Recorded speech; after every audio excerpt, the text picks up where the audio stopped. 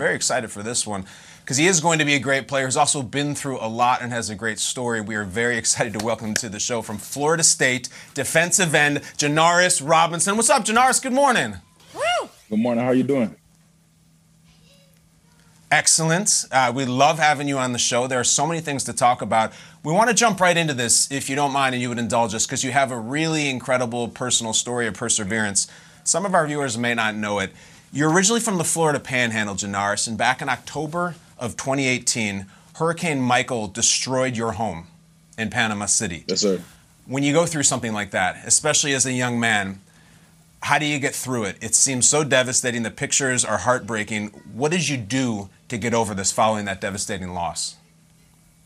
Um, currently, I just had to, you know, just control my emotions and just lean on, um, you know, the FSU community where I was going to school and, you know, community in general. Just, you know, just trying to, uh, you know, just be there in any way that I can. You know, when tragedy struck, they were behind me and supported me in a tremendous way.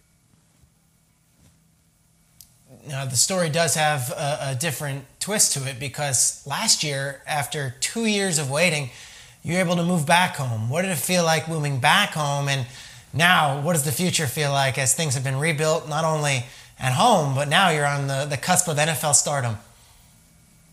Um, it feels great to be back in our house. Um, you know, my mom was without a house for two, uh, about two years, and you know that was a house that we all grew up in, um, a family house that you know was there for five generations. Everybody in my family, you know, grew up in that house, and just to be back there, it really meant a lot. And just having my mom somewhere to, um, you know, just lay her head.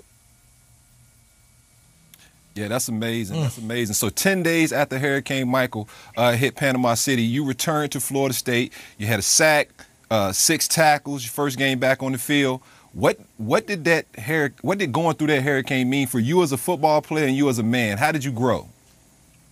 Um, you know, just just you know, I've been playing football since I was a little kid, and that's something that I love doing. And you know, just get back on that field was a way to, you know, just uplift the community that was going through a lot, and you know, just example of staying strong and you know fighting through adversity, and you know, get my community and me through something that you know was destructive and was a hard time and going back on that field was just a way for me to you know uplift the people in the city that raised me we love hearing your story. It's very inspiring here on this Thursday morning. And thank you for waking up with Good Morning Football. What a year you had last year. I was just looking at some of these numbers. You led Florida State in sacks for anybody that might not know. Strong performance in the Senior Bowl, great numbers and marks on your pro day as well. There are a lot of GMs that are looking at you, sizing up that tape, watching right now. Most of them are actually coaches. You got analysts, all those guys picking you apart with those scouting reports. What do you want them to know, and what are they overlooking? More importantly, um, you know, my production at Florida State really wasn't the greatest, but um, you know, I feel like I'm that first round talent and can be that all around defensive end that plays, you know, uh, defensive end, outside linebacker. You know, can also drop into coverage and. Um, you know, not many people can bring that versatility to the table.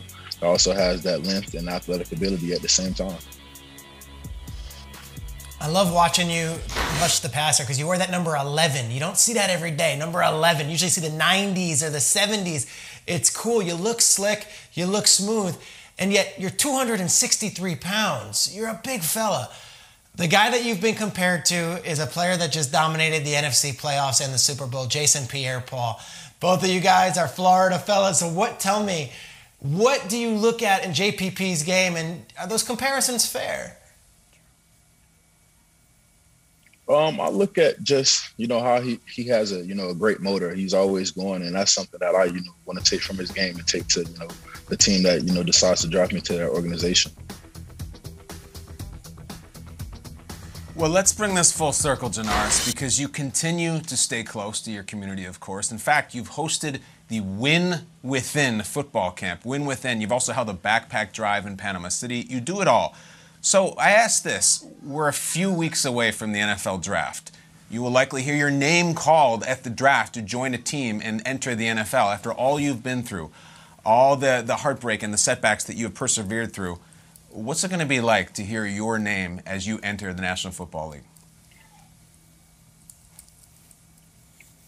Um, it's going to be very emotional. Um, you know, this is something that I've dreamed of doing since I was a little kid, and you know, I've always played football. And just for that moment and you know my dreams to be unfolding right in front of my eyes is gonna you know just be very emotional. Um, you know, it is something like I said I dreamed of and you know, and worked for since I was a little kid. You know, a lot of hard work and dedication, and you know, just to be there with my family and just to see my dreams come true is gonna really mean a lot.